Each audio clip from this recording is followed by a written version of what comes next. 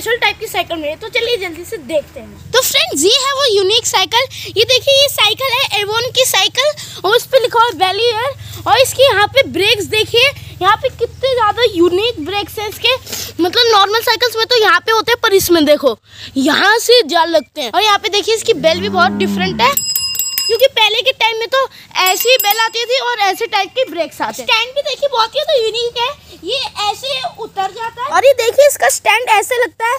हमें इसको नीचे खींचना पड़ता है और फ्रेंड्स आप मुझे कौन सी जाके बताना कि आपने ऐसी साइकिल कभी पहले देखी है नहीं?